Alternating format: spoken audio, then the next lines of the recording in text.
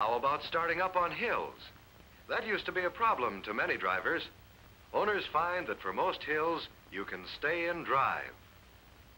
For very steep ones, switch to low, step on the accelerator, and Powerglide gives you the engine power you need to start up the hills smoothly and safely.